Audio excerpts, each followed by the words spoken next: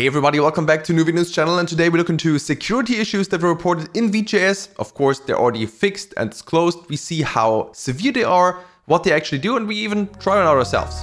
Here we go.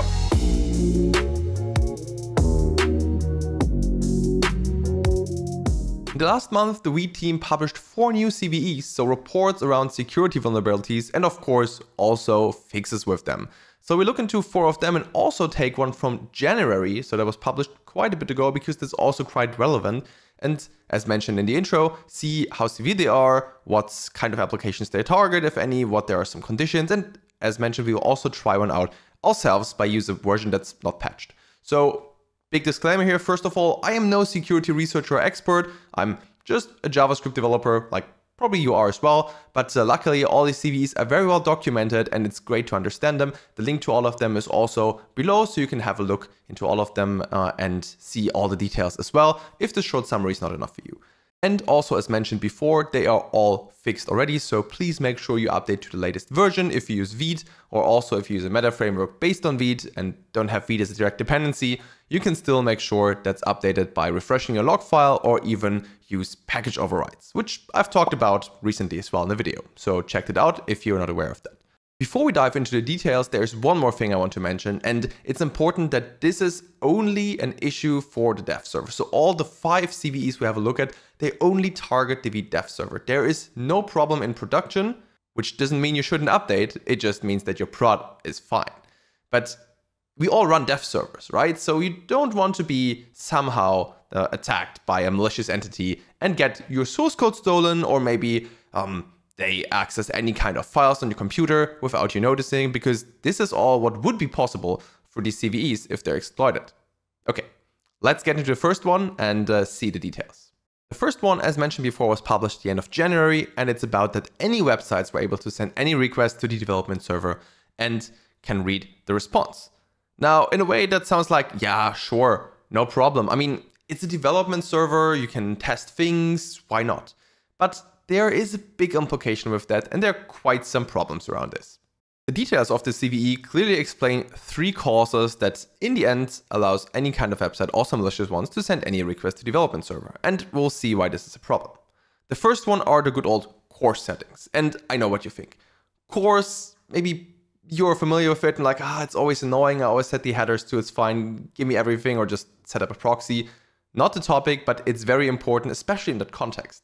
But especially in the case of a dev server, it's very important that not any random website could just request JavaScript files and then read the content, because usually this is prohibited thanks to the same origin policy. But if you set CORS headers by default that say, hey, everyone is allowed in here, then you can get that. That's also what's outlined here.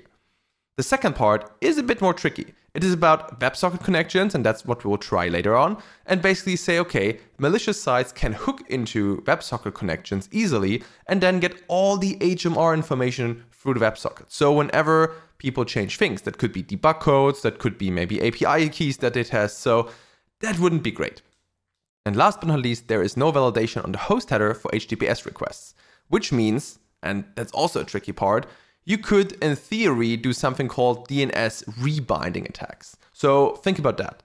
You access a malicious website, and programmatically, that website's DNS is then not pointing to where the website is, but surprise to localhost. And because the host header is not validated, then, well, it would just access your files as if it be your localhost, and then could send them anywhere, which in the end means access to all your files that the dev server serves.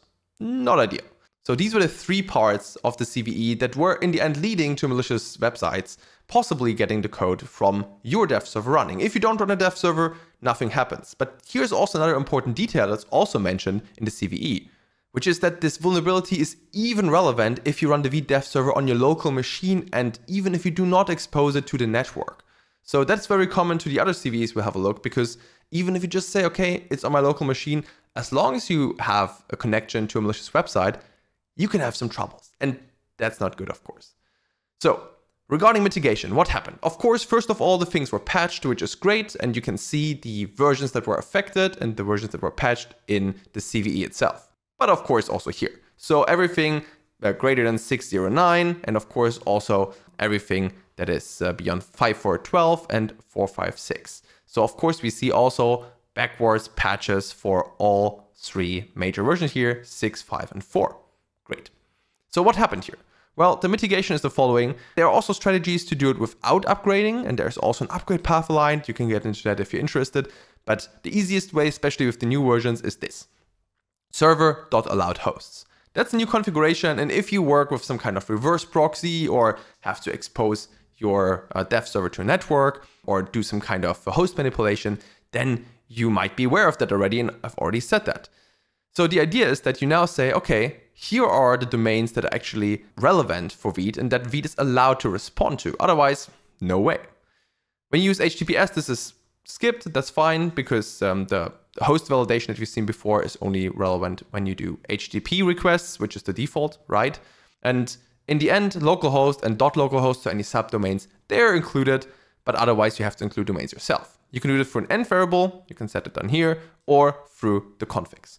And if you wonder, okay, which domains should you add? Well, the domains you own if you want to, and the domains that are relevant to your website. But of course, not just like any random domain and don't set it to just true because then, well, you basically open the gate again for that security vulnerability. And now might wonder, okay, how likely is it that people abuse that in a way? Hard to tell. I mean, if you have malicious websites and now almost every framework is based on Vite, maybe even some kind of spear phishing attack where people directly um, target developers of a certain company, let's say a bank or whatnot, there are chances. Do we have uh, anything out there that says, oh, I was, uh, I don't know, I was a victim of that attack? I haven't found anything around that. That, that didn't mean it didn't happen. And most importantly, it's great that it's fixed and reported. So kudos to all the people, for all the CVEs who are taking a look at this video, who reported that with a responsible disclosure. So basically telling the team through the process, they fixed it, then they publish it. There is security researchers gets credits, and um, everybody is safe, so to say. Anyway, if you're curious now how such an attack would actually work, we can have a look into that because, well, I've prepared a little example based on also what's in the CVE report that does one of the three parts that were shown there, which is hooking into the WebSockets. So let's have a look. We'll start with the plain Vite and Vue starter template, which is really just that, that comes out pnpm create Vite and then run the Vue one. And we have a second tab open actually, which is, surprise, it's just this. It is hosted on a Cloudflare tunnel URL. It could be any website, so it doesn't need to be local. Well, that would defeat the purpose, right? This can be anywhere. Can refresh that, it still works and says type connected. Now, we'll also look into code in a bit. And as mentioned, this CV is fixed. We'll have a look why this still works here. Anyway, let's dive into code and see what is happening. Living here in our wonderful Vite Vue example, it is very important to note, as said before, we use Vite 6.0.0, so a version that's affected. You should definitely upgrade if you still use a lower version because, well, these are only patch versions. Nothing should break in theory, right? Even for 5 and 4 as well. And we just have our wonderful, well, code here. And what we can do is we can just change code. Fine, we'll save that. And now we jump back into the browser. And here we see count as zero. We can click here, that works. And if we jump to our tab now, then we see, oh, type custom events, of file changed and the file itself. So now we have information around that. And also see, okay, does the accepted path, well, HMR information. Because what is happening here on the hood, we can look into that in the page source. This is all the code that's needed, right? Actually, just this part. We basically say, make a new WebSocket connection to our Vite server, right, on localhost. And as I said, this is actually running on an actual domain, so that works. We hook into the Vite HMR and just says, let's log that. And of course, malicious sites, we just send that somewhere else and so on and so on. And if you say now, okay, but look, this is just file names. Yeah, that's true. That's correct. So far, it's just file names. But what if we do something like that? Let's do this. Oh, an error, right? Which would never happen to me in development that I have some invalid syntax and save the file. Let's check the browser. And here we go. We let me let me zoom in a bit. We have this. A lot of things here. But basically it's the error stack trace. And this is more or less also what we would see not only in our lovely actual application, like, oh yeah, you have an error here, there's a problem. This is uh, more or less the information, but a bit more beautified, the stack trace. So from here, you get actually parts of the source code. And as I said before, this is not even related to some kind of DNS rebinding attack, something more complex. This is just that and you get all the updates as long as the connection to its site is open. So maybe when you look for help on some dubious website, and this is uh, a script that was ejected through like cross-site scripting or whatnot, that could get all your information here. So as I said before, the easiest way is just updating because it's fixed. And that is what we'll do now. We'll just update, reinstall dependencies and see what uh, will happen then. And all you see is a black screen. Now, if we actually open the DevTools, we will see why. Well, the browser can't establish a connection to the, the HMR server anymore. And it's not because I changed the port. Well, not at all. This is still here. And the connection, if we also refresh that, use WebSockets here, we still have this. But of course, now it is protected. Great. So that was quite an easy fix for us, right? Especially if you don't use any domains that you uh, need to, that actually need access or need to alias, you're all good. Otherwise, you can use the option that we've seen before. Okay, now that we checked the big CVE that was published in January, what is with the four other ones that were published in the last weeks? Let's check them out and see what they're about. All right, the first one published three weeks ago, server.fs.deny bypassed when using question mark raw question question mark. It is a moderate severity given on the CVSSV3 base metrics. Well, they are at least an indicator if it's moderate for you or not, it always depends what you're doing. But here, the idea is that the content of arbitrary files can be returned to the browser. That's not ideal because obviously you don't want like all your files on your computer being accessible by some malicious website. But there's a catch. And the catch is that this only would work if your app actually exposes your Vite dev server to the network. So use dash dash host or server dot host as config option. And the idea is that we have this server fs deny part where you say, okay, look, there are files you shouldn't be able to access. This was like handled, I think, years ago to actually make sure that this isn't a problem. So not all the files are exposed when using the dev server.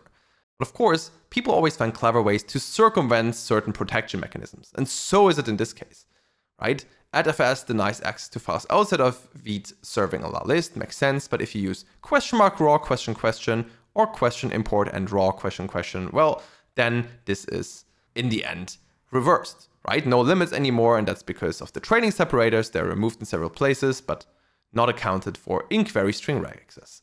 You can easily test that, like technically you can run these commands and say, hey, I get a top secret content. We can even do it ourselves when we have that uh, non-fixed Vite version and then just do curl. And ideally you would see, okay, hey, that doesn't work. It's outside of the list, right? The server should not be able to serve this. But realistically, if you use the import raw, that's served. Not ideal because as we said before, then you could just get all kind of different files from the file system, which you really don't want to. Now, how relevant is that CVE for you? Well, first of all, if you never expose your dev server, then you're not targeted. Also, as mentioned before, only dev, no production. That means if you do expose your server though, well, you want to make sure you upgrade it as well. Also here, chance that is abused, nobody knows, but um, especially for targeted attacks, that could be very, very helpful. And accessing arbitrary files, even though you can't like write to them, but read them, is no fun. So I understand why this is moderate. But as said before, for production apps, not a problem. And the same is also the case with all the other three CVEs that we'll see now. The next one is server.fs.deny bypassed for inline and raw with question import query. So as I see, you've seen a pattern here.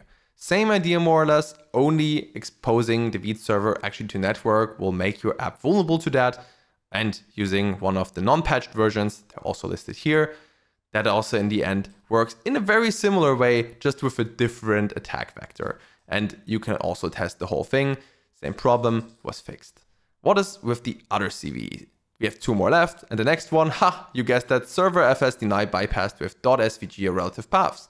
So a similar problem, you can access all the things from the different device by using, well, in this case, a little bit more of a strategy by using question mark SVG, like with maybe also wasn't in it, or another header. That's it. Here you had the limit that the file must be smaller than the asset inline limit, right? That's fine, sure, not a problem, but uh, that's that's the whole story. So you can, for example, access once again temporary content with just adding these parameters. Not ideal, and the same applies as before. And now we get to the last one, and I know you already expect what's coming. Correct, server fs deny bypassed with an invalid request target. And here we go, that's also a clever way of doing this. In request target, the hash sign is not allowed. So you can still send a request, but of course it's not valid. And then well, you can use relative paths to maybe access any kind of file. Also a problem, once again, only if you actually expose the whole thing into the network. And here there's one more thing. If you do not use Deno, well, then it's not a problem. But that's actually because Deno is sanitizing the requests directly. So they're not rejected or anything, but they're passed on. But the hash is not part of it anymore. And uh, that's it.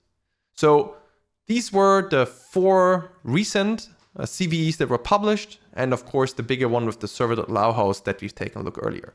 And now you might wonder once again, what does it mean that there are so many CVEs published recently? Well, first of all, it means that the Vite team is taking their job in terms of security very seriously and evaluating all the reports coming in, checking the severity and how to mitigate it. Because even though you might not expose your Vite dev server to the network, there are setups where this is not only necessary, but common.